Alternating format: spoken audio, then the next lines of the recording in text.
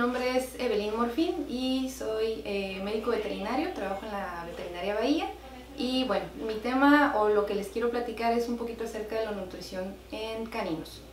Es un tema muy importante y a la vez interesante, en especial cuando adquirimos una mascota, eh, ya sea un cachorro, ya sea un perro que se adoptó ya adulto, este, es muy importante tener en cuenta ese tema. La razón es simplemente desde que adoptamos a un cachorro o iniciamos a cuidar a ese, a ese cachorro que, adoptamos o perro adulto que adoptamos, es importante decidir qué alimentación y qué tipo de alimento le vamos a, ofrecer.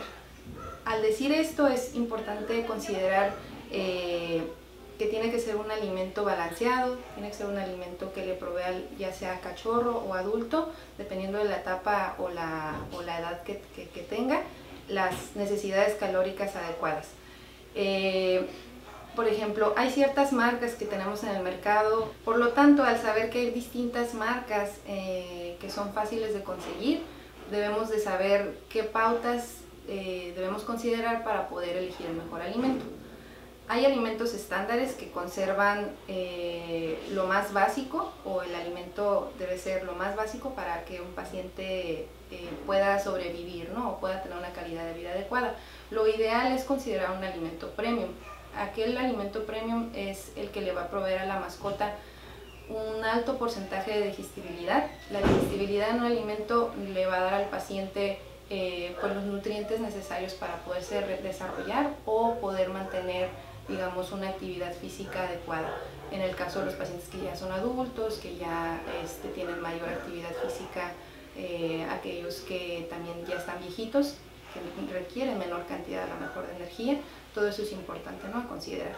Entonces, el alimento que debemos de elegir siempre debe ser un alimento que tenga aproximadamente un 80 o 90% de digestibilidad en sus ingredientes. ¿Quién nos puede ayudar a elegir este alimento o cómo podemos saber qué alimento tiene esa capacidad de digestibilidad? Pues simplemente un médico veterinario, ¿no? Ustedes pueden acercarse y nosotros con gusto les podemos ayudar a elegir y explicarles la razón de eh, básicamente cuál es la proteína o cuál es el porcentaje de proteína, de carbohidratos, de lípidos que debe adoptar, ya sea un cachorro, un paciente adulto o un paciente geriátrico. Eh, otra cosa importante es, ya que tenemos un alimento, ya que tenemos una ración en un paciente, eh, dependiendo de la etapa de vida en la que esté, siempre hay que tener una observación de la condición corporal de nuestro perro. La condición corporal nos habla simplemente del estado de nutrición, también porque eh, un paciente puede generar obesidad cuando se le sobrealimenta y cuando no tiene una actividad física adecuada. ¿no? O puede caer en la desnutrición si nosotros consideramos que la cantidad de alimento es eh, menor o que el paciente no la está consumiendo. ¿no? Entonces todo eso es importante y se puede detectar desde casa. La condición corporal básicamente nos es muy sencillo de reconocer debido a que podemos simplemente observar a nuestro, a nuestro perro por este, los lados y por encima y esto nos va a dar eh, ciertas pautas que podemos considerar. La cintura, por ejemplo, es uno de ellos. Depende mucho también de la raza del perro, pero la mayoría de los perros deben de tener una cintura ligeramente marcada, no debe de perderse esa eh, ligera cintura que se observa y eh, no deben de generar depósitos de grasa. Los depósitos de grasa los podemos ver en la parte frontal, en lo que es como el pecho, en las caderas o lo que equivale a donde se encuentra el hueso de la cadera y no deben de sobrepasar este, en algunas ocasiones ciertos rangos de peso. Sin embargo, eso es un poquito difícil de determinar por un propietario.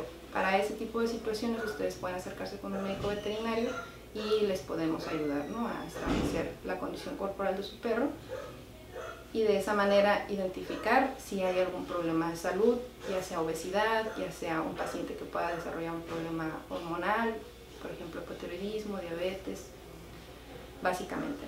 Entonces, es por eso que es tan importante considerar nutrición a nuestra mascota y cualquier duda que ustedes consideren tener, pues acercarse con un profesional.